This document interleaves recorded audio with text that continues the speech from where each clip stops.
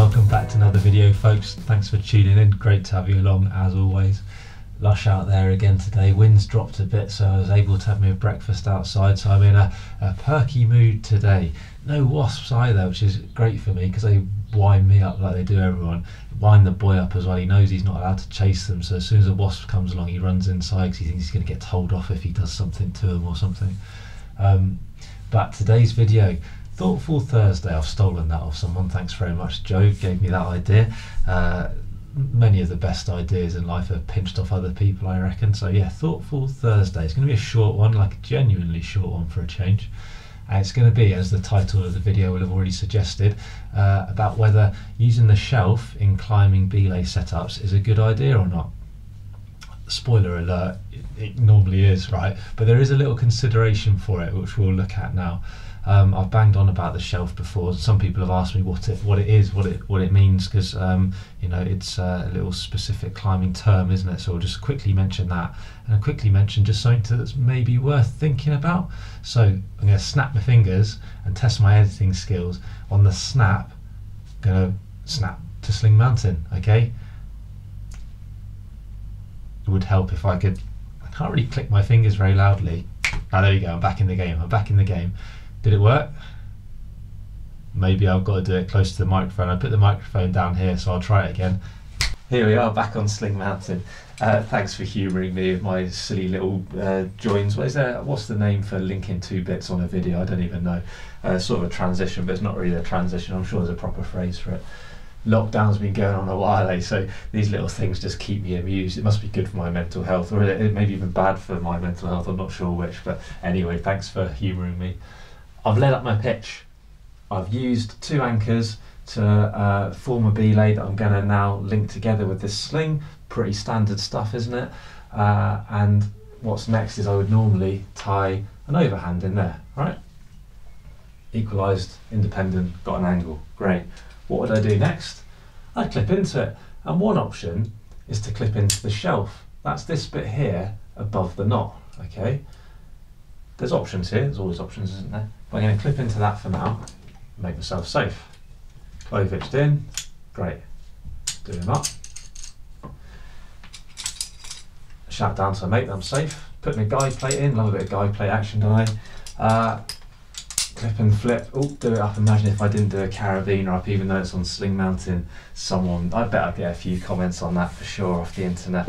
People love that kind of stuff, don't they? Uh, right, let's load him up. Clip him, do him up as well, of course. Shout down to my mate, climb when you're ready, belay them up, happy days. They fall off or something, no drama, it's all on there, it's all perfectly safe, that isn't it?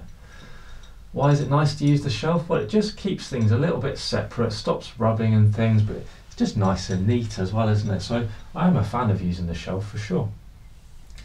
But, you know, the video is about provoking some thought, wasn't it? That was the idea. So imagine my mates now got up to me and they're going to clip themselves in to the shelf as well, the same as I have, right? Because it's all nice and clear and out of the way and everything. That's all good.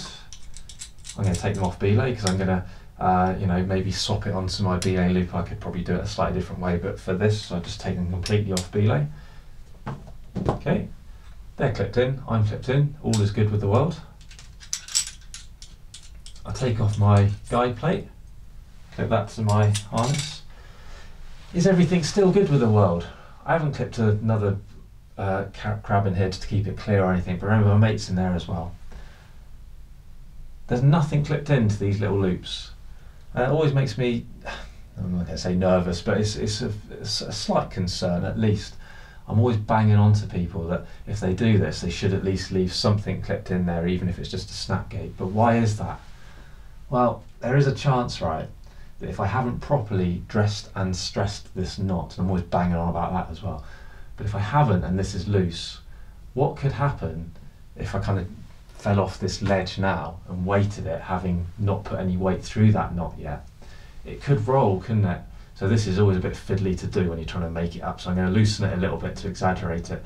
But as I pull on the back of the knot, by pulling down on that knot, the knot could capsize. And because I've got little tiny loops there with nothing clipped to them, they could pop through everything. And what do you think is going to happen when that pops through? Am I going to shock load the system? Have a little think. Okay, that's popping through any second. No shock loading whatsoever. I haven't weighted them at all, have I? Literally slid off the end of a sling. It's not great, is it? So, Thoughtful Thursday was the idea, wasn't it? Right? Do you think there's a better way of doing it then?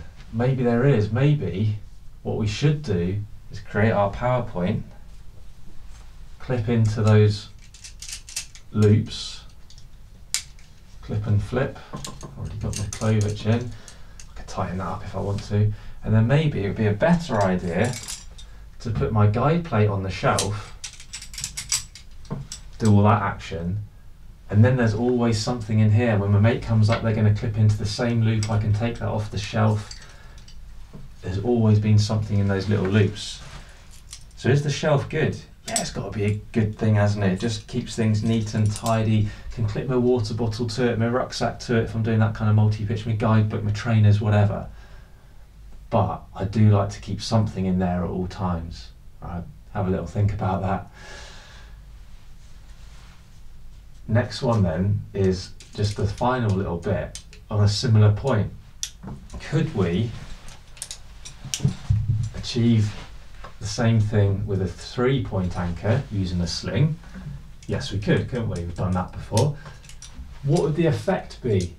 Would I still slide off the end of the uh, belay? Well, let's have a look. Got my 240, do him up. Okay, super simple, do him up.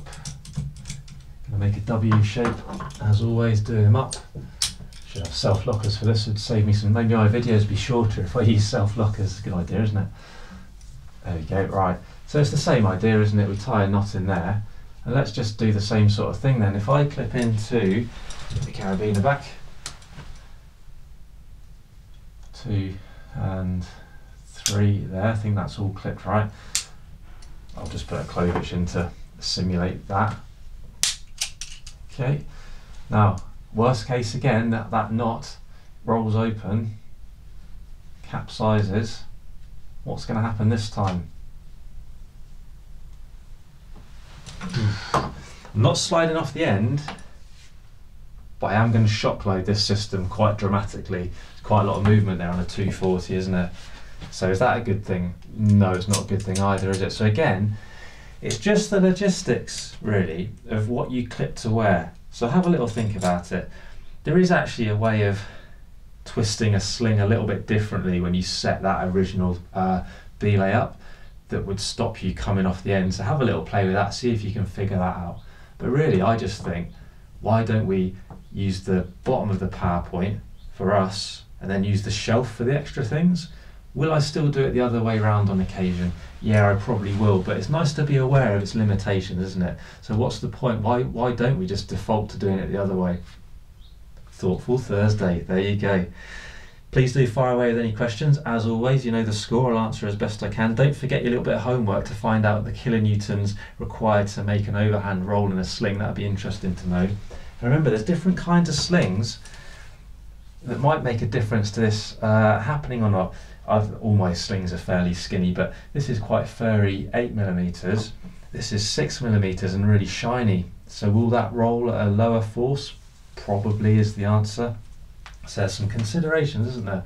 So yeah, do, do that little bit of homework. That'd be interesting. Don't put your answers in the comments if you can find something useful. Chuck a link in there. Learning for me as well, isn't it? I love it you know the score about Insta and Facebook. Different things go on there. Insta's full of old climbing pictures at the moment because I can't get too many new ones, can I? What's today's or yesterday's? It would be Creeping Lemma, a great E2. It's fallen down now. Uh, yellow walls at um, over by Castell Helen uh, on Anglesey. Brilliant, brilliant climbing there. Uh, but yeah, find us on there. Give us a follow. It's all much appreciated. Click that like button if you've liked it. Smash the subscribe button. Gone well over a thousand now as well. Good. Uh, thanks for your continued support. It's Ace give us some requests as well. If you've got any other videos you'd like doing always good to top up the list with that kind of stuff but um, I hope you've enjoyed the video. More videos coming up very soon